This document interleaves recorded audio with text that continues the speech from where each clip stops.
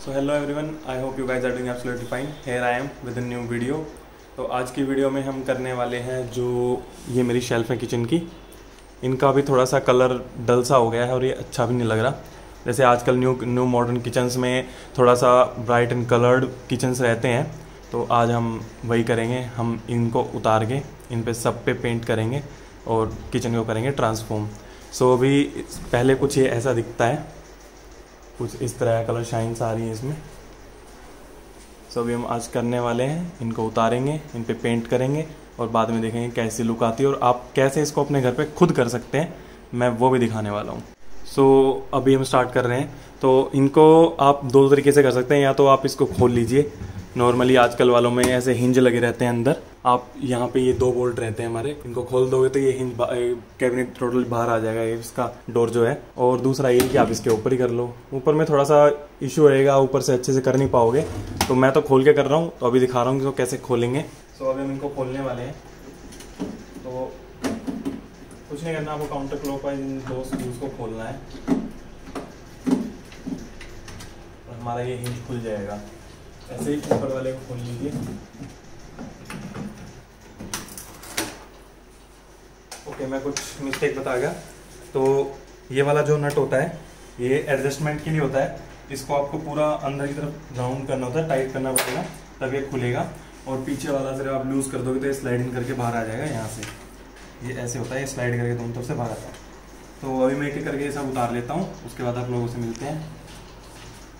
सो so, अभी मैंने मेरे ऊपर के छः के छः शेल्फों के डोर खोल लिए हैं। अगर किसी को सफ़ाई की ज़रूरत पड़ेगी थोड़ी सफ़ाई करूँगा। उसके बाद पेंट करना स्टार्ट करेंगे और मैं दिखाता हूँ अभी क्या क्या हम यूज़ करने वाले हैं उसके लिए। सो so, अभी मैंने दो डोर्स यहाँ पर रख लिए हैं और इनको अच्छे से मैंने उस कपड़े से साफ़ कर लिया। अभी हम यूज़ करने वाले हैं। हमें थोड़ा थिनर चाहिए। एक मैं दो लीटर पेंट लेके आया हूँ। एक बॉक्स एरा एक बॉक्स उधर है और एक ब्रश इसकी खास ज़रूरत है। तो अभी पेंट हुआ काफ़ी गाढ़ा तो थोड़ा बहुत इसमें थिनर मिलाएँगे। और आगे का प्रोसेस शुरू करते हैं। आप लोगों को दिखाता हूँ कैसे करते हैं। सो so, अभी हम पेंट के डब्बे को ओपन करने वाले हैं। उसके लिए आप कुछ भी यूज़ कर सकते हैं। मेरे पास ये है नहीं तो आप चाहें तो आपके घर में स्क्रू ड्राइवर हो तो उससे कर सकते हैं। कुछ नहीं यहाँ पे साइड में ये हिंज होता है। आपको इसको प्रेस करना होता है और ढक्कन धीरे धीरे ऊपर आ जाता है। तो मैं ज़रा इसको ओपन कर लेता हूँ उसके बाद मिलता हूँ। इसको ओपन करने का बेस्ट तरीका यही कि आप हर साइड से थोड़ा थोड़ा थोड़ा थोड़ा राउंड करते रहें और थोड़ा थोड़ा दबाते रहें तो ये धीरे धीरे अप आ जाएगा। जैसे तुम्हें दिख जाएगी हाँ यहाँ पे ओपन हो गया है तो उसको हाथ से तुम ओपन कर सकते हो ऐसे ही। और मैं कुछ ऐसा कलर लेके आया हूँ, जिसका नाम है स्मोक ग्रे और अभी तो डिब्बा बिल्कुल फुल है तो अभी तो आई थिंक मिक्स नहीं करना पड़ेगा। पहले मैं डायरेक्ट इसकी एक कोट कर लूँगा। उसके बाद मुझे लगेगा ज़्यादा डार्क है तो मैं इसमें थोड़ा थिनर मिला लूँगा ताकि लाइट हो जाए। तो चलो स्टार्ट करते हैं अभी। हाँ तो चलो अब स्टार्ट करते हैं। अगर तुम्हें लग रहा है कि इस पर ज़्यादा है और ये फैल रहा है तो तुम यहाँ से भी पहले उतार लो चाहे तो। ये मेरे में थोड़ा साइड में आ रहा था, इसलिए मैंने इस पे से उतार लिया। अब इस पे नीचे डार्क कलर है तो इसलिए मेरे को इस पे दो कोट मारनी पड़ेंगी। मैं एक बेस कोट मारूँगा, पहले इससे ये थोड़ा सा कलर पकड़ ले और उसको सूखने के बाद उस पर एक और कोट मारूँगा। तो अगर आज ये नहीं सूखता है तो मैं सिंपली आज की वीडियो बेस कोट के साथ खत्म कर दूँगा। बाद में जब फाइनल कर दूँगा तो उस पर लगा के क्लिप आगे ऐड कर दूँगा। तो चलो, मैं पेंट करता हूँ। तब तक आप लोग टाइम लेफ़्ट देखो थोड़े बहुत। मिलते हैं आगे आप लोगों को।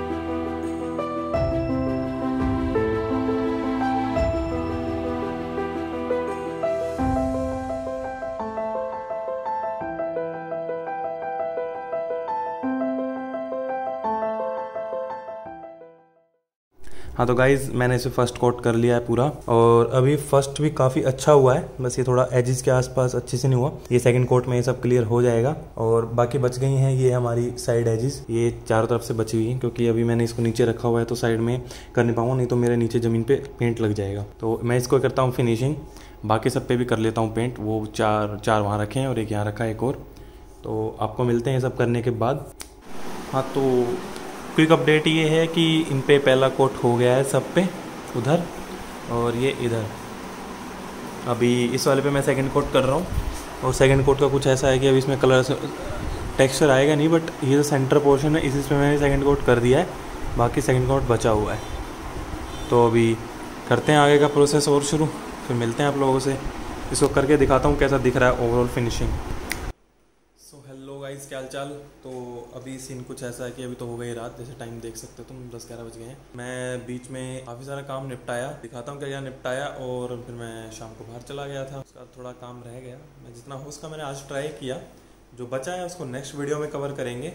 ये वीडियो आज तक कंप्लीट कर देता हूँ। मैंने मोस्ट ऑफ़ फिफ्टी परसेंट काम मैंने कंप्लीट कर लिया है। मैं दिखाता हूँ मैंने क्या कर लिया। तो सीन कुछ ऐसा है, यहाँ पे थोड़ा बहुत नीचे गिर गया और ये थे मेरे ड्रॉर्स चार इन पे लगाया फ़र्स्ट कोट और इस वाले पे भी लगाया फ़र्स्ट कोट तो फ़र्स्ट कोट काफ़ी अच्छा लगा है वैसे तो पर ठीक था। तो अभी वो है रूम जिसमें मैंने जो फिनिश है, वो सब रखे हुए मैंने फ़ैन चला रखा है इधर। तो थोड़ा सा अंधेरा है। फ़ैन बंद कर देता हूँ मेरा तो ये वाले पैनल्स हैं जो ये हो चुके हैं फाइनल फिनिश मैंने ये वाली साइड छोड़ी थी क्योंकि ये वाली साइड को मैं टिल्ट करके मैंने तीनों साइड कर ली थी। ये बाकी साइड सबकी कंप्लीट है ऐसे।